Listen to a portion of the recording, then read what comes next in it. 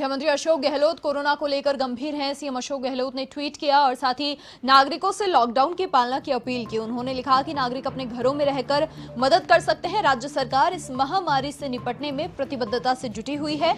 नागरिकों की जीवन की रक्षा के लिए हर संभव प्रयास लगातार किए जा रहे हैं। हर संभव कदम उठाया जा रहा है।